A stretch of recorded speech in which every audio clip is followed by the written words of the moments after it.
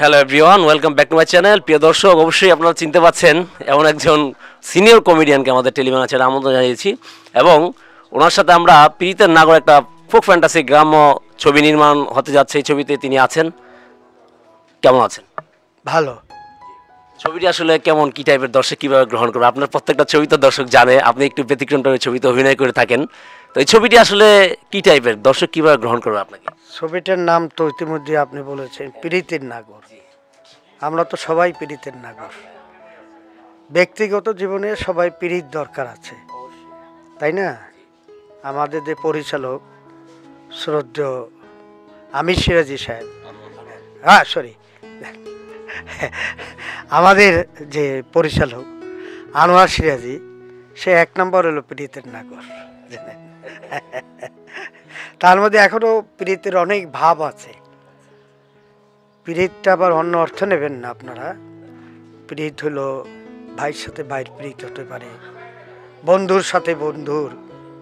একটা ভাবের পীড়িত আছে, সেটা হলো উপরওয়ালার সাথে। সেরকম, এরকম সে হলো প্রীতের নাগর, আসল নাগর। তারপর যিনি লিখেছেন, মীর টুপু সুলতান। ওনার সাথে আমার বেশি দিনের পরিচয় না। কিন্তু ইতিমধ্যে বুঝে বুঝে গেছি তিনিও একজন রং লাগানো মানুষ। মনের মধ্যে অনেক রং। যার মনে রং থাকে, সে অনেক কিছু লিখতে পারে, জি।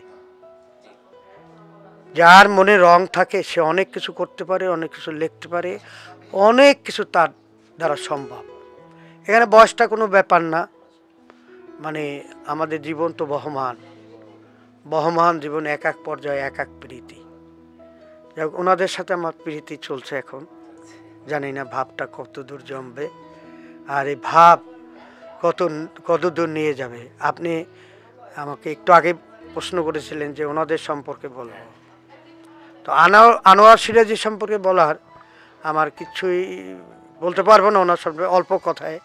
কারণ বলতে পারব না, ইতিমধ্যে দর্শক জেনে গেছে। উনি কিন্তু এই গ্রাম বাংলার ছবি, বাংলার ঐতিহ্য ছবি লালিত। একজন লালিত পুরুষ, ওনার স্বপ্নে থাকে এইটা। উনি উনি গানও লেখে, আবার উনি গান লেখেন, কবিতা লেখেন। উনি বঙ্গবন্ধু সম্পর্কে একটা কবিতা লেখছেন, সুন্দর কবিতা। তো ওনার বিশেষ বিশেষ গুণ আছে। আর আপনি তো জানেন, উনি বাংলাদেশ চলচ্চিত্র পরিচালক সমিতির এখনকার দপ্তর প্রচার সম্পাদক।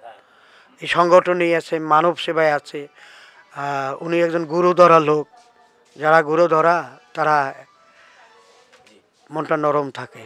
ওনার মনটা নরম। হ্যাঁ। হ্যাঁ উনি না উনি টিকে গেছে অলরেডি টিকে থাকা না উনি উনিকে টিকে আছেন উনি। বহুত সংগ্রাম ওনার জীবনে গেছে বহু আপনার জীবন সংগ্রামে সে যুদ্ধ করেছেন।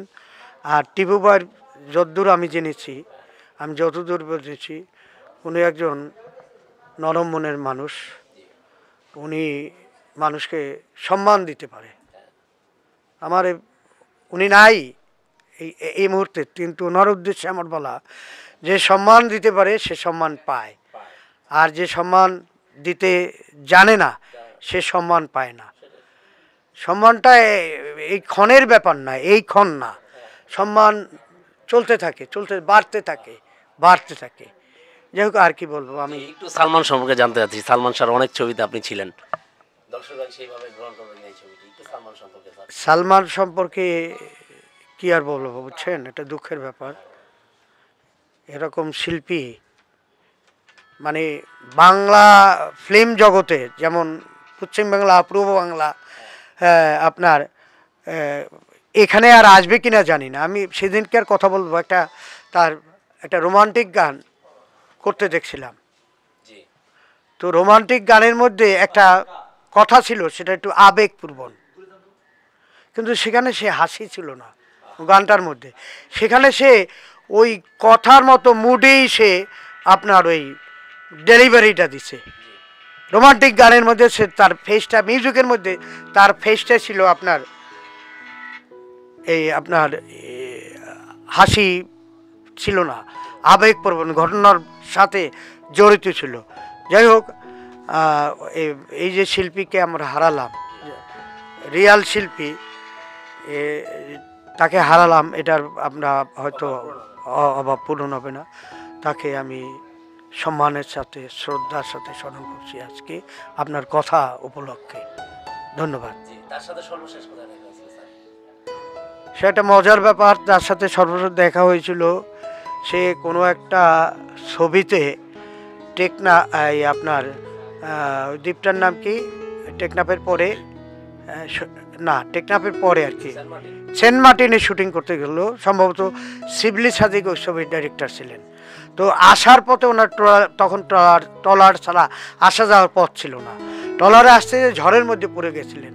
উনি ঝড়ে ঝড়ে পড়ে ওনার ওই লবণ পানিতে এই বুকের মাংস টাংস এইগুলো ছিঁড়ে গেছিল। ছিরছির হয়ে গেছিল। তো আবার খুব ভালো মনের মানুষ ছিল। আমি আর ববি আর একটা ছবিতে ছিলাম কক্সবাজারে। ওরা ওরা তখন কক্সবাজারে ব্যাক করছে। আমরা হাঁটতেছিলাম সমুদ্রে। হঠাৎ কোথা থেকে যে একটা গাড়ি, জিপ, খোলা জিপ আমাদের সামনে আসলো। আমরা জিপটা এরকম পাগল, পাগলের মতো আমাদের গায়ে উঠে দেবে নাকি? আমরা ভয় পেয়ে গেলাম। হঠাৎ দেখলাম আমাদের সামনে এসেই থামাইলো। থামাই লাভজি বললে, আম, সব বড় গল্পায় বলতো যে ওস্তাদ, বলে, ওস্তাদ, যাবেন না। কখনো ওইখানে যাবেন না। খুব ইমোশনাল কেন, কি হয়েছে? যে, এই দেখেন, আমার অবস্থা কি? তো দেখলাম, আসলেই যে, তার এইটা ইনফরমেশনটা না দিলেও হয়তো, কিন্তু তার যে মনের আবেগ, আমি শিল্পী, সে শিল্পী আর একটা ছবিতে আসছি, আমার সাথে দেখা হয়েছে, ওখানে যাবেন না, ভুলেও শুটিংয়ে যাবেন না। এই এই যে তার আবেগ যে, আন্তরিকতা, ভালোবাসা, এটা ভোলার মতো নয়। আচ্ছা। আরেকটা বিষয় জানব যে আপনার এই ছবিতে দর্শকরা আসলে যেন সিনেমা হলে যায় সেই প্রত্যাশা রেখে বিদায় নিয়ে নেন?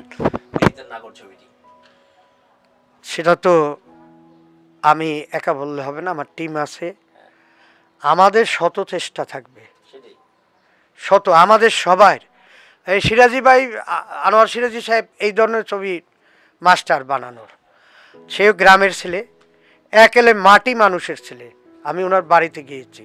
সিরাজগঞ্জে যে একবারে নদীর পার গেসা মাছ প্রাকৃতিক পরিবেশ এই যে জিনিসগুলা গ্রামের হ্যাঁ হ্যাঁ গ্রাম্য লোকেশনগুলা গ্রামের ব্যাপারটা লোকেশন না গ্রামের আচার অনুষ্ঠান উনি খুব ভালোভাবে রপ্ত। তো আমাদের যে বাঙালি সংস্কৃতির যে ঢংটা সেটা এই ছবিতে আশা করি উনি ফুটিয়ে তুলবেন। আর আমি যতটুকু ছবির গল্প, কাহিনী আমার ক্যারেক্টার শুনেছি টিপু সুলতান ভাই, উনি, উনিও, আমার মনে হচ্ছে মাটি মানের মানুষ। মাটিও এই মাটির মানুষই উনি। উনিও ওই বাঙালিপনার মধ্যেই আছে। আমাদের, যাই হোক, আমরা বলব যে আমরা তো চেষ্টা করব, কিন্তু এই আমার এই কথার মাধ্যমে আমি যে কথা বলছি, এ যারা শুনছেন বা যারা দেখবেন আমরা আশা করব তারা যদি সিনেমা হলে যান এবং তারা যদি প্রত্যেকে এক একজনে পাঁচজনকে বলেন তাহলে আমাদের ছবিটা ইনশাল্লাহ সুপারহিট হবে। আপনাদের উপর, দর্শকদের উপর ছেড়ে দিলাম। আপনারা আমাদের ছবিটাকে সহযোগিতা করবেন। সবাইকে ধন্যবাদ। জি, আপনিও ভালো থাকুন, সুস্থ থাকুন। আল্লাহ হাফেজ। দর্শক যেন হলমুখী হয়, সেই প্রত্যাশা রেখে বিদায় দিয়ে দিচ্ছি। আল্লাহ হাফেজ হ্যাঁ? পীড়িতের নাগর ছবির আরেকজন আর্টিস্টকে আমরা দেখতে পাচ্ছি। সুবর্ণা, তার সাথে কথা বলব এই ছবি নিয়ে। কেমন আছো? আসসালামু আলাইকুম সবাইকে।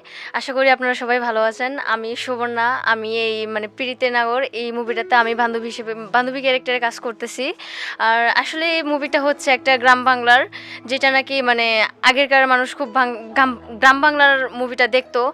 আর আশা করি যে এই মুভিটা আপনারা দেখে খুব মজা পাবেন, কারণ গ্রাম বাংলার তো প্রাকৃতিক প্রাকৃতিক পরিবেশের, যেটা নাকি সবাই, অধিকাংশ মানুষ দেখে। আর এই মিডিয়াতে মানে চলচ্চিত্রে আমি ফার্স্ট মুভি এটা আমার আমার লাইফে আমার খুব ইচ্ছা ছিল যে হ্যাঁ মিডিয়াতে আসব, কিন্তু আসা হয় নাই ফ্যামিলিগত প্রবলেম থাকার কারণে আমার লাইফে ফার্স্ট একটা মুভিতে কাজ করতেছি।